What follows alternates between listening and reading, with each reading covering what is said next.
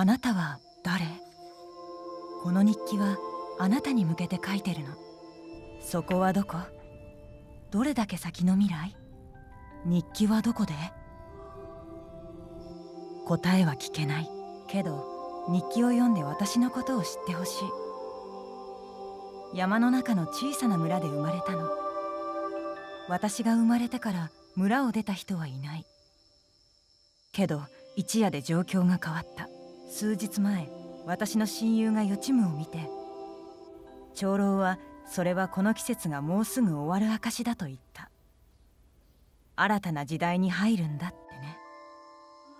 大変動が起きる。みんな怖がってた。疑問が次々浮かんできて自分の無知さを知った。今がどういう季節でなぜ終わらないといけないの？どんな力が世界をひっくり返そうとしてるの？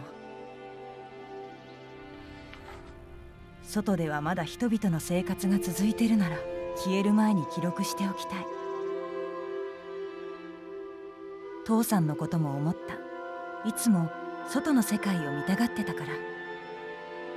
だから私は村を出ていいか尋ねたの。長老からの条件は一つ。集めたものを博物殿に運ぶこと。地球の果ての芸術と記憶の宮殿に。長老曰くそこだけが季節の変化に耐えれる場所だって。あなたがいる場所がそこだといいな。変化の波を止めることはできないけどこの季節のことは語り継がれてゆく。どんな季節でどんな音がしてどんな性が営まれてたのか。私は今家を出る朝にあなたへ宛ててこれを書いてる。別の部屋からは朝ごはんの香りがしてて母さんの声が聞こえてくる。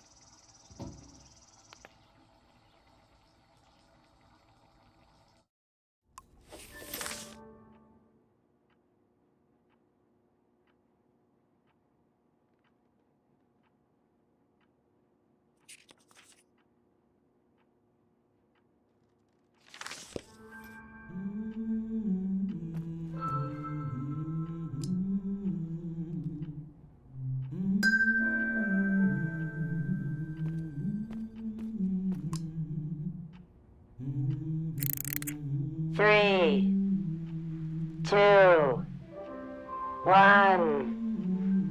Hooray! Mr. Lotto's here.「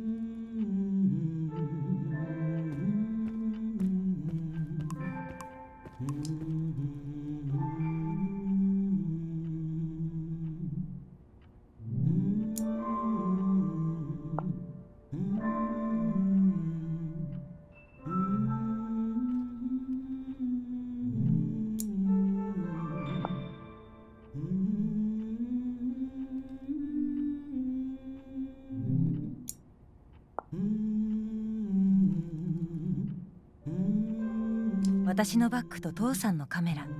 大いなる旅立ちに備えて。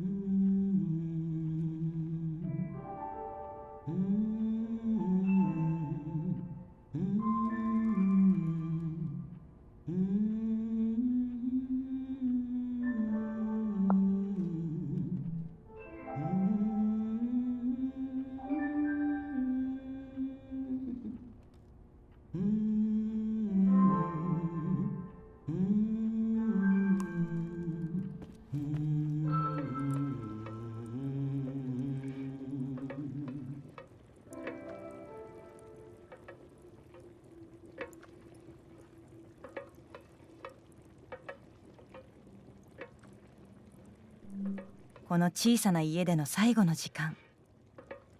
かつて3人で暮らしてた。母さんと父さんと私でもうすぐ母さんだけに。母さんと思い出だけになる。けどこの時はそうなる前のこと。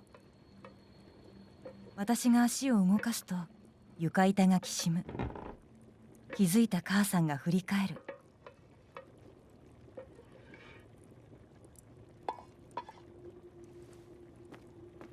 おはよう。なんで突っ立ってるの？旅立ちの時よ。美しい朝になりそう。すごいのよ。母さんバーナーとカメラとレ朝食もできそうだけどペンダントを作らなきゃ。長いこと使ってないしマニュアル取っておいてよかった。身を守りたい時は他自我のペンダントは。思考や記憶など荒い村の人はもう使わないけど外の世界へ行くならペンダントがある方が母さんも安心だわ。心の病気からよ夢の病とか。文雄医師の最後の発決して治せない幻覚症がある。その予防のため脳を守れる別の方法を聞きたいわ。思った通り。戦争中はご遺体の身元確認もここは飛ばしましょう。物には物理的な層その両方を込めるのです。手順1聴覚嗅覚触覚視覚。手順2その品に触れ思い手順3その思い出が離してから抜けペンダントに移ります。つまり母さんから記憶が消えちゃうの。痛みはないはずよ。少なくとも。ダメよ。あなたは全てを覚えそれが役割なの。このささやかな犠牲がないとペンダントは機能し怖がらないで我が子を守るためなら少しのえー、この古いテープが聴覚に使えそうね。よく覚えてる。この曲を聴きながら2人で寝てたら父さんが帰ってきてね。それから3人で暗くなるまで眠ったの。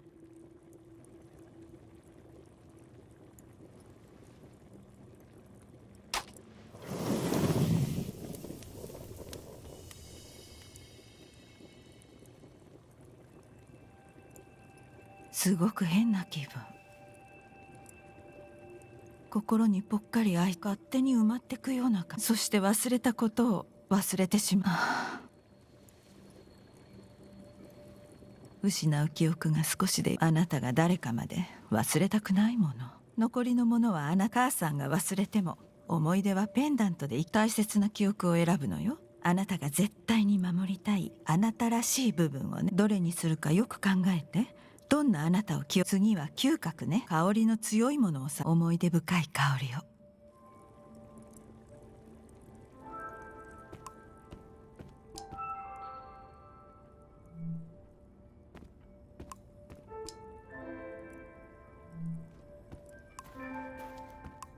蜂蜜ろう赤ちゃん波私は記憶にない人たちに愛されてた。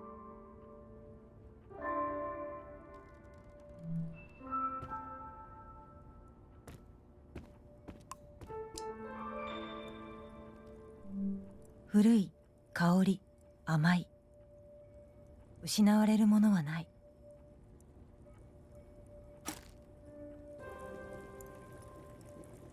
嗅覚には何を選んだの？大きく息を吸って。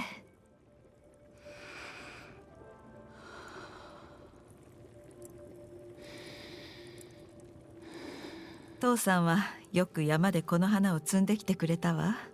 高所でしか育たない花よ。父さんは山登りが上手で新しい水私としては危険だしもうや父さんは探検が大好きでいつも上だけ。長老は父さんの死への罪悪エネルギーであふれる人にはフィッツ渓谷で遺体は見つからない。けど夜になると感じない。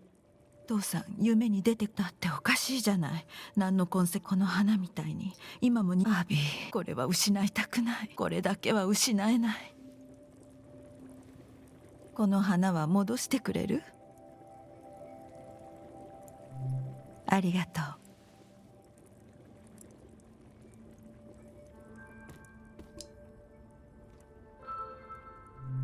甘いつやつや蜂蜜。食べるのがもったいないな。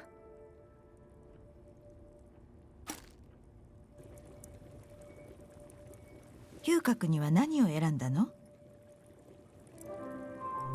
大きく息を吸って。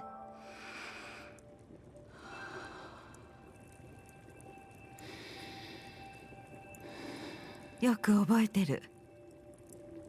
友達のパテからのもったいないからって一個もしばらくしたらキャンディーキャンディーって一時の話すうちにあなたはそう気づいた。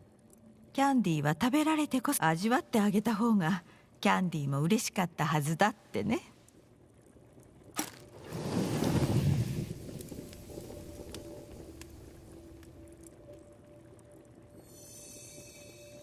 次は触覚ね。触り心地が好きなものはどれ？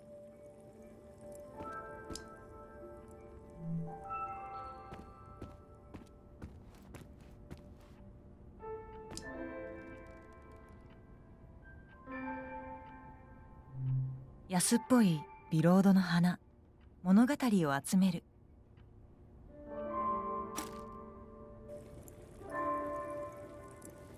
それでどれを選んだの？わかった。そのリボンね。今でも昨日のことのようによく覚えてるわ。流浪の物語祭の時空気が張り詰めていて。あなたはみんなの物語の断片をでそれから全員の前でそれらを一つの物語あなたは上の空みたいだ思い出すと同時に海あなたが目立つことをしたのはあれがそして青いリボンあなたが村を出てくっていう予感。この小さな村の物語だけじゃ物足りないんだって。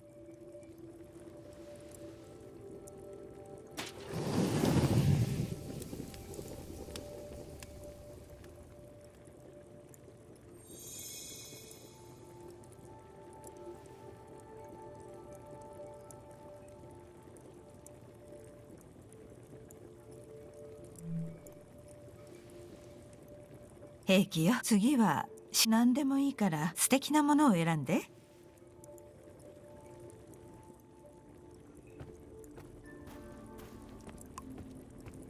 私が子供の頃の手だ。母さんの愛が伝わってくる。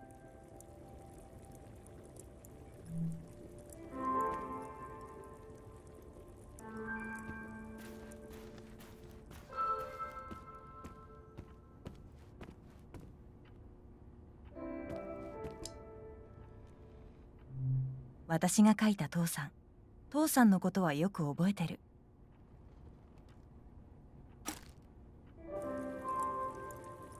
それでどれを選んだの？あなたがこの絵を描いてる間父さんはずけどあなたは消すのに忙しくてどんどんディテールが削られてった。父さんが死んで数年経つけどこの線を見るたびにうちにいた父さんを思歩いたり踊ったり笑ったりする父さんこの絵ってよく父さんの特徴を捉えてる。全てを消し去るなんて。一体どんな力なの？紙に描いた線でそれに抗えるのかしら？そしていつまで？あなたは若くしてあ人は替えが利かないの。いなくなる。この線がそれ線もいつかは消えるけど。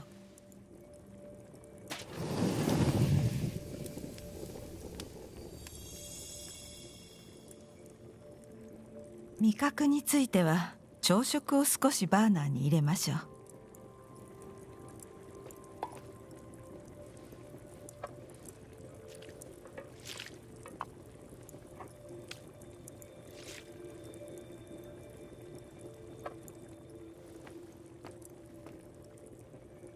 今まさに紡がれてゆくこの記憶をあなたは忘れないでね。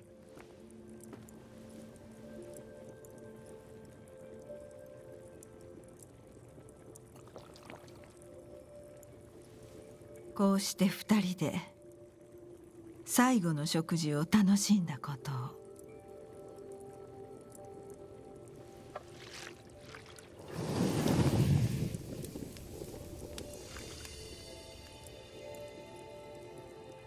これであなたは記憶の加護を授かった。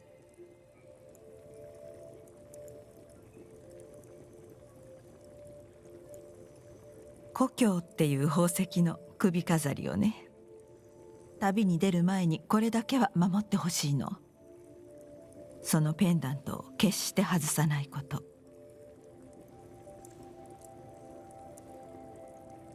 そして壊さないこと。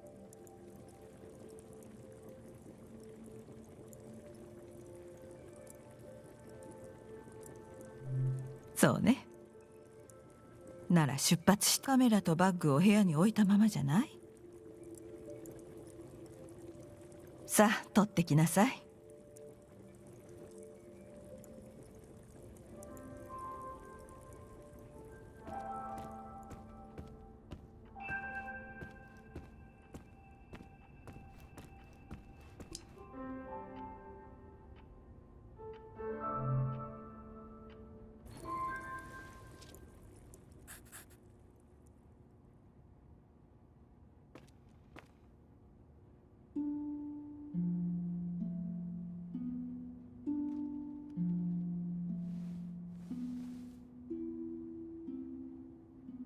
いろんなものを失ったのに。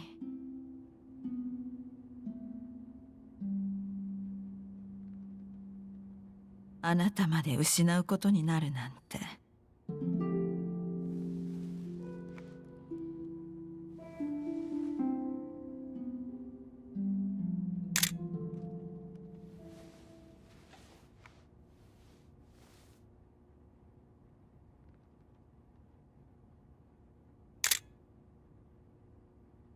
見て。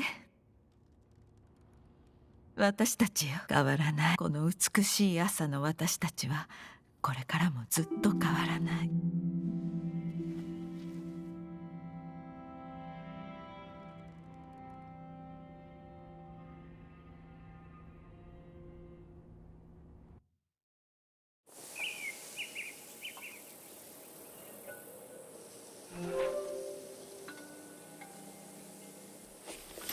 さんと一緒に儀式を行った。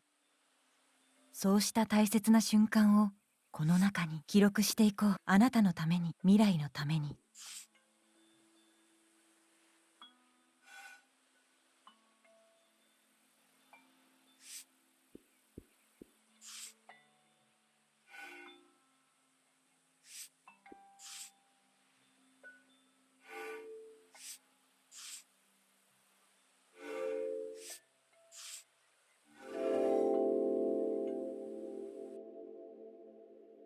母さんが父さんの話をし始めるのはいつも料理や散歩をしてる途中だった。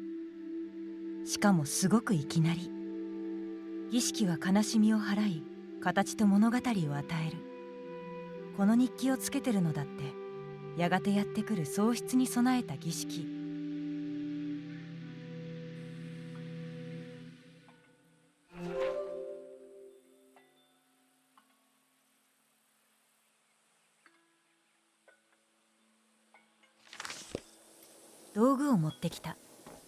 節の景色や音を記録しよう。まずはよく知ってる唯一の場所を。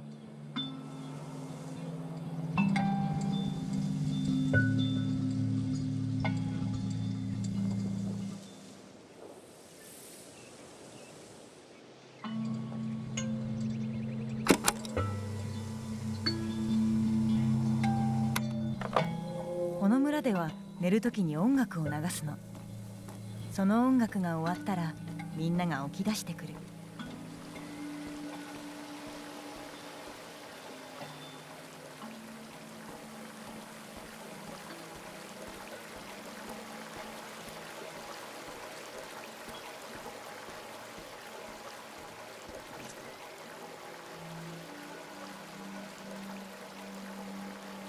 昨晩みんなが私の旅への期待をしたためてこの木の枝に縛り付けたの。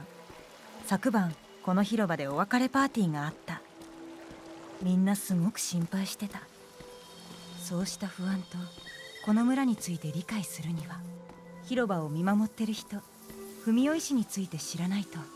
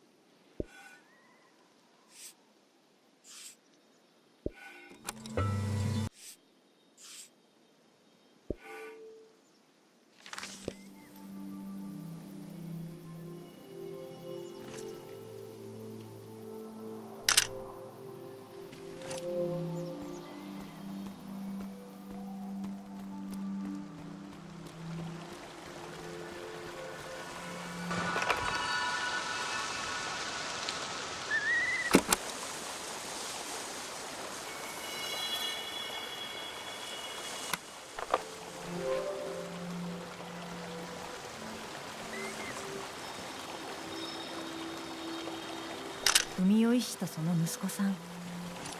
像は見た目より新しいみたい。芸術家がわざと古ぼけた感じにして風格を出したんだ。文雄医師と彼の息子は776年にキャロ村を作り今も村の伝統の中に生きてる。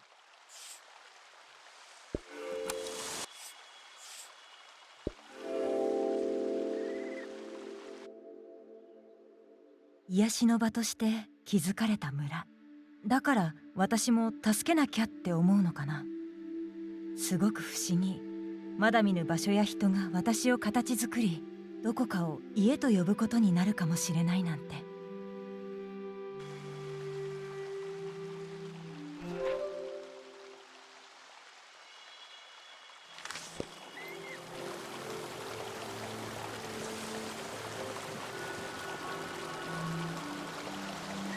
全てを覚えてるのはきっとつらい。文雄医師はこの村で大勢を救ったんだ。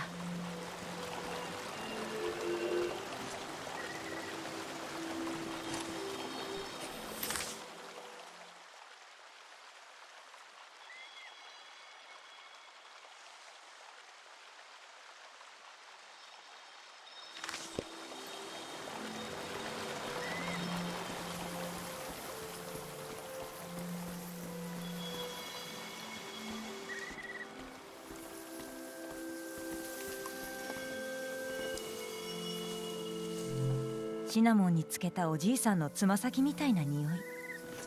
昨晩は仕方なくこの怪しい薬を飲んだ。ペンダントみたいに脳を守ってくれるらしいから。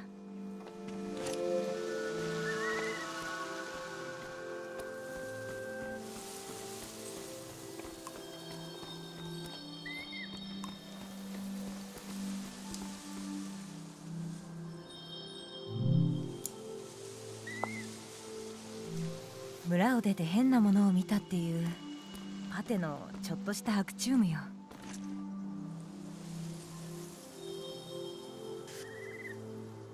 文雄医師は夢の病は強大な力が引き起こしており自分には治せないと。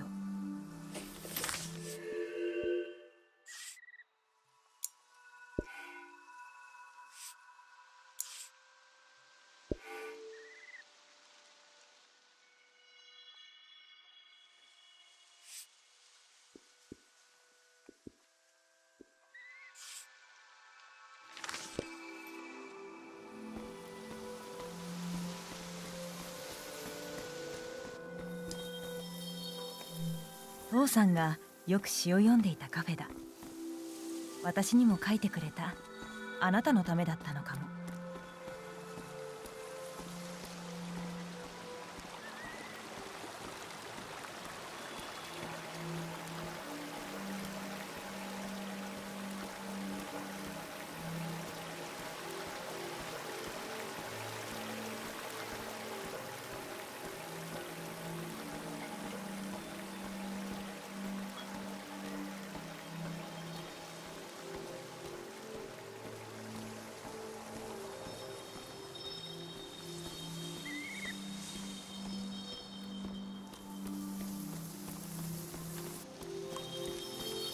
願いが木から落ちてる。本当は読んじゃいけないんだけどどういうものか例を示しとかないとね。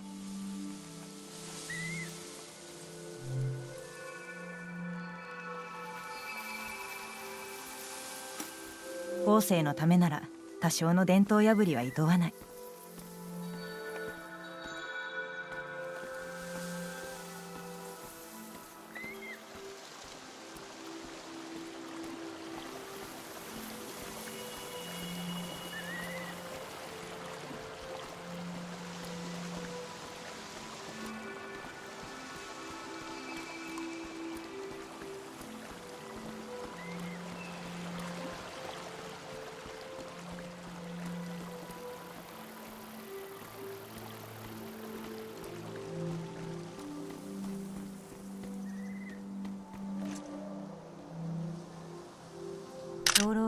の誤認に苦しむ母親のために文雄医師のことを探した。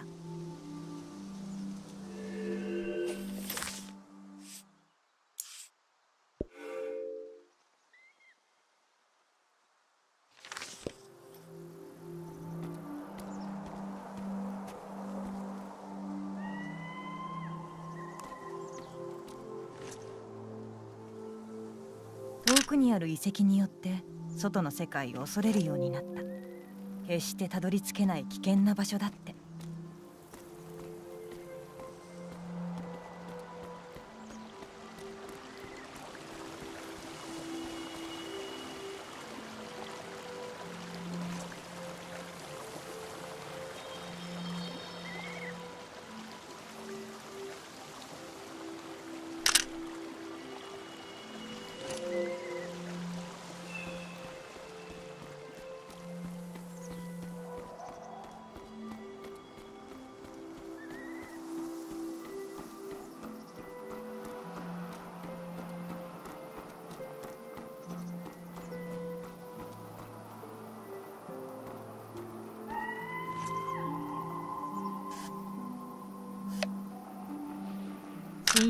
テとよくここで釣りをする。たとえ何にも釣れなくても二人で静けさを楽しむの。二人で静けさを楽しむの。キャロ村はモダニティの季節に創設されて後に文雄医師が理想の村へと作り変えた。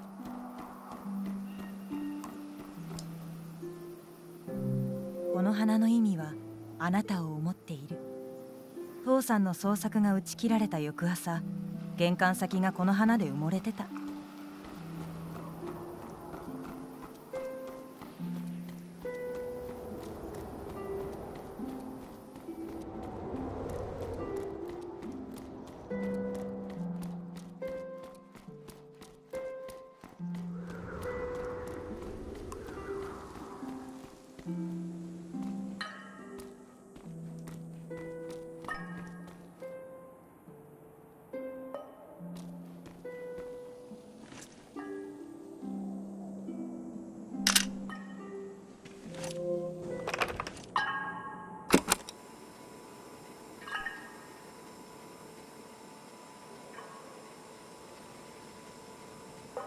ゆっくりと。だけど着実に滴り落ちる。この小さな村での暮らしみたいな妙な満足感。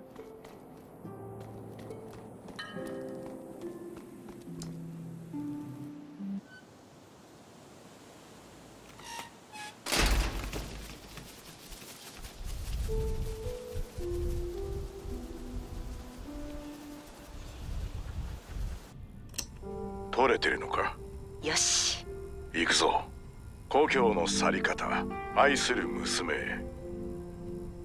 聖なる大地の一角を探しその土の上に寝転がれ。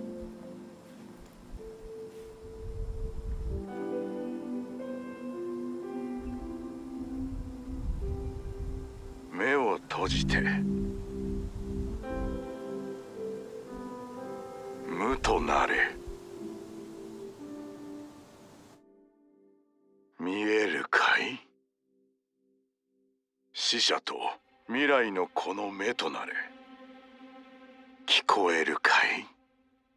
死者と未来のこの耳となれ。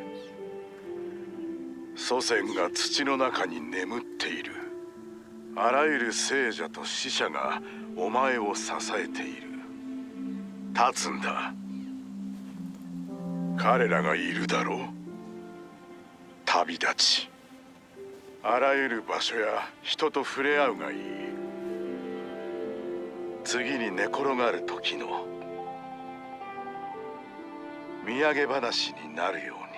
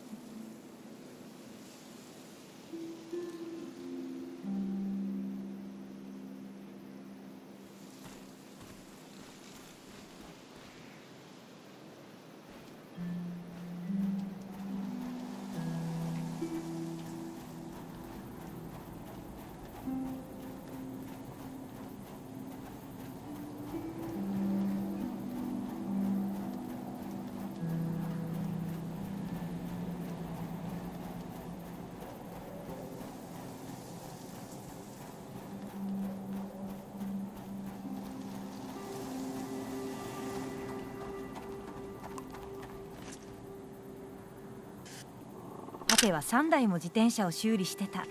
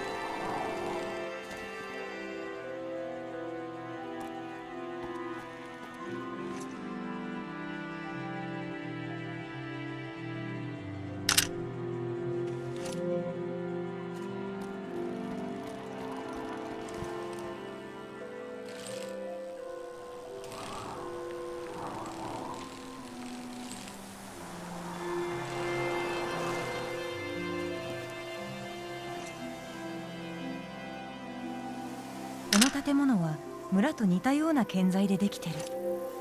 きっと同じ頃に作られたんだ。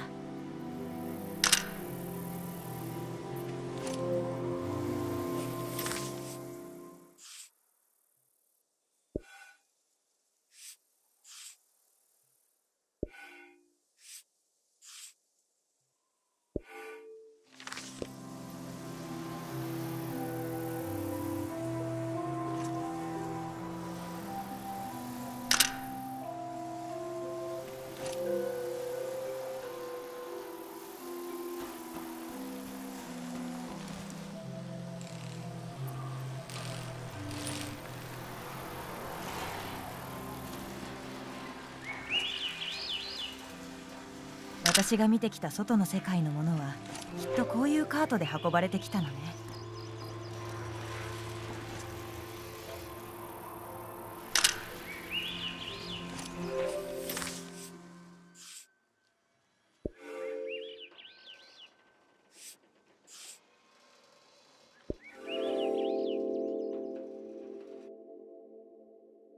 何一つ馴染みがないけどかえって楽しく感じられる。廃れてしまった。人と人を結ぶ手段。世界について何かを語ってくれる。次の季節でまた使われるかな。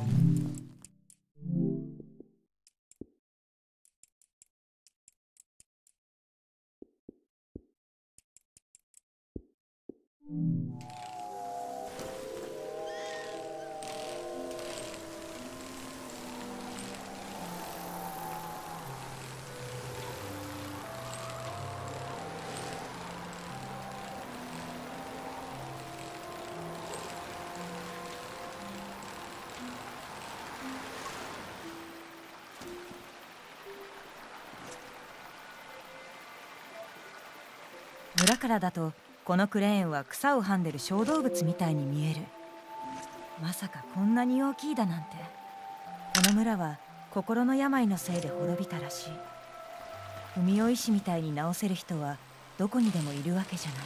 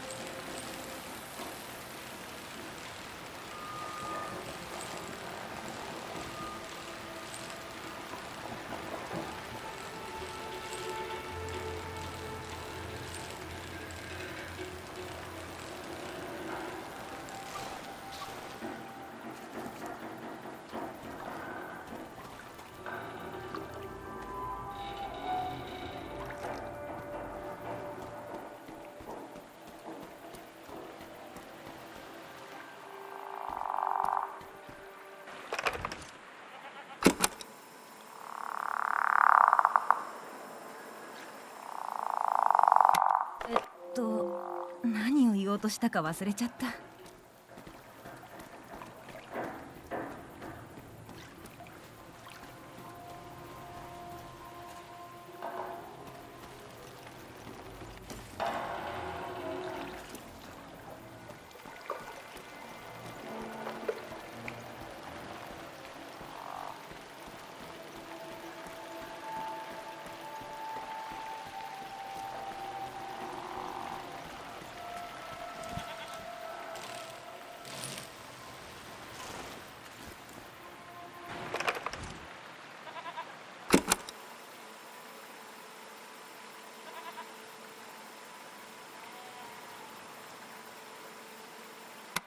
代の技術については学校でやったけど動物はあんまり。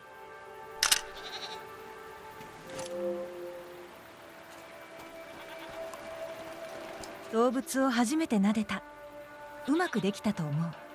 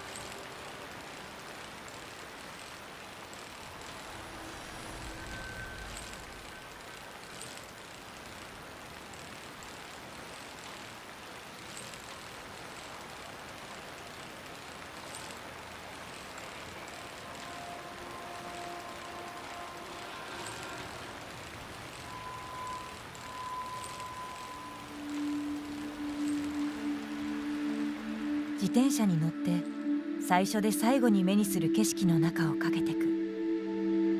故郷を立った時はこの季節がどうやってそして何よりいつ終わるのか見当もつかなかった。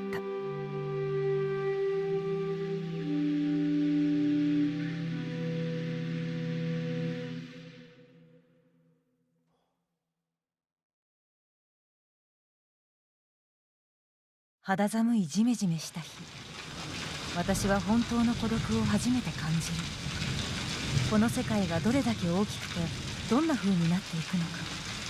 誰も説明できない。私は走り抜けみんなは過ぎ去っていく。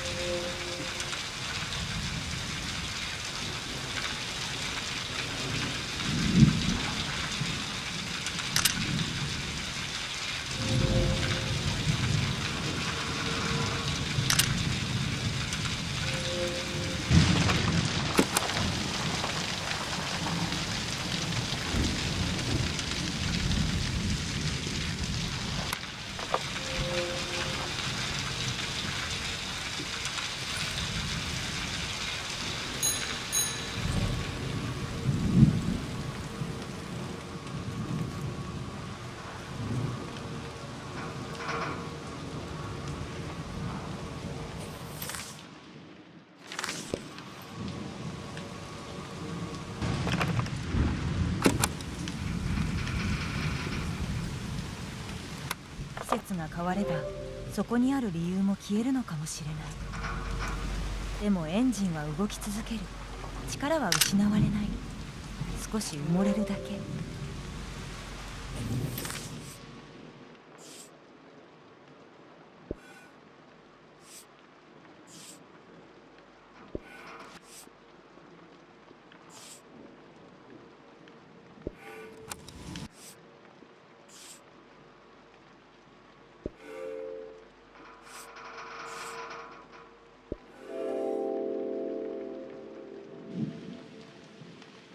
ここでは時間の流れ方が違う。すごく重いけど同時に軽くも感じる。一りぼっちじゃない。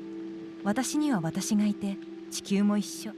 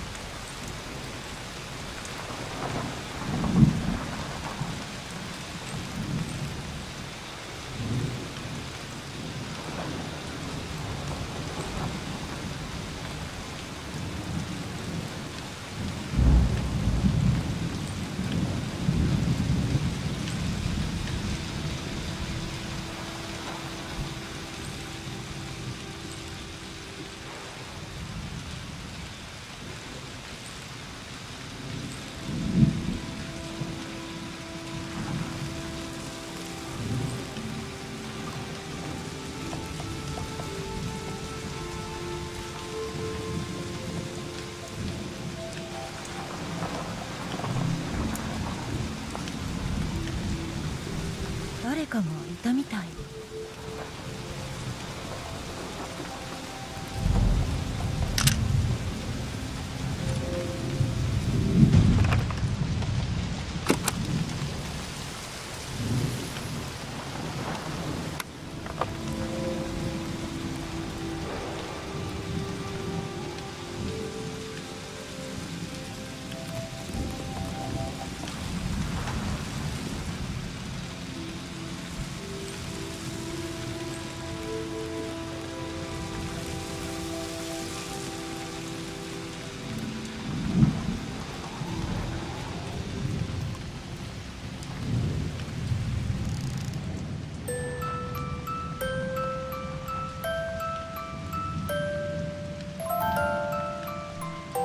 一つだけのメロディー一りぼっちの私。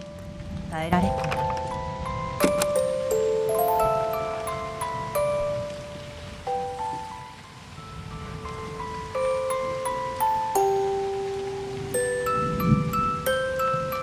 このオルゴールは子守歌の代わりだったのかな。いつも傍らには音楽。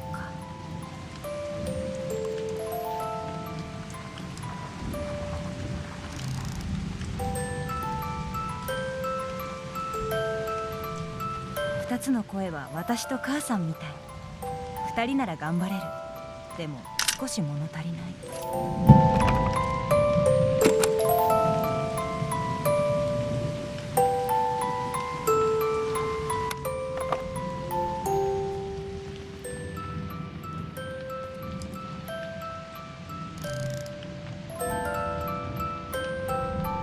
三つの声は人生と同じで複雑。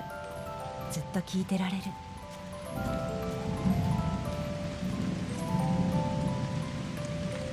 えっと何を言おうとしたか忘れちゃった。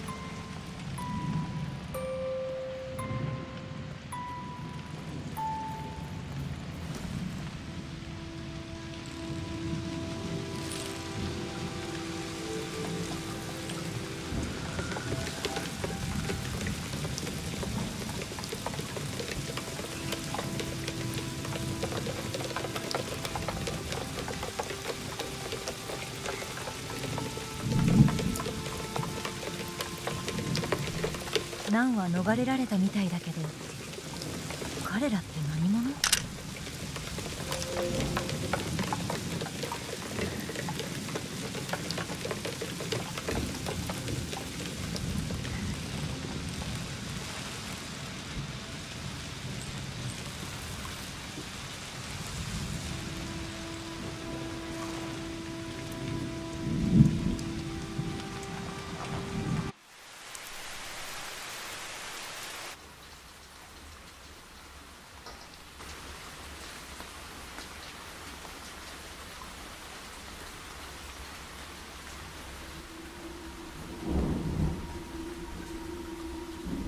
誰もいない場所で私は録音したテープの中に話し相手を見つけた。長老が半生を語ってくれたの。それを聞いて大事そうなことを書き留めてった